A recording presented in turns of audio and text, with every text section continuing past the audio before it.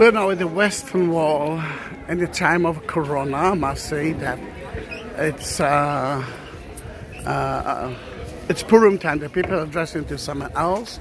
And in Purim time, you usually give a little bit of donation. Then you can see that children are asking for donation.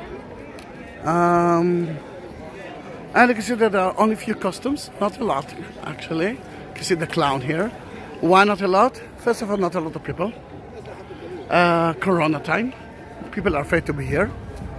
Secondly, you can see that uh, we are reading the Torah. Let's go see it. Bar mitzvah ceremony. Then bar mitzvah ceremony. And we'll talk about soon.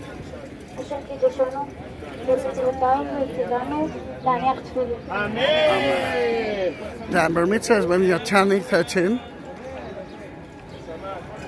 See here, that one is holding the big box. In it is the Torah scroll and is already a man.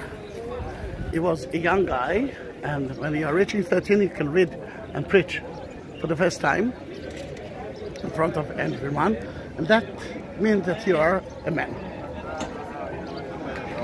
The men department's got another department which is uh, supposed to be air conditioned. I'm not sure that it will be air conditioned.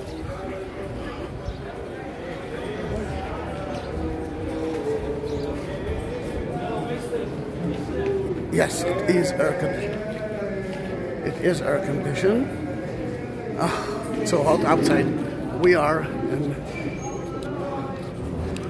in a minute.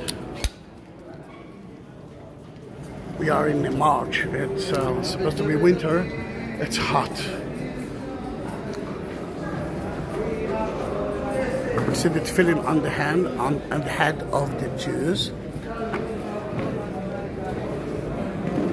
But again, the happiness is not so here. Cannot, you're supposed to see millions of people are dressing themselves. Uh, the only thing that you can see that they they have a very good. They brought the best costumes of them. Then you can see the Fairhead, for example, which is only for um, for um, weekend and holidays, and this is a holiday. But where wear the costumes, sadly, cannot see a lot. Corona time, if you're talking about tourists, no tourists, only few.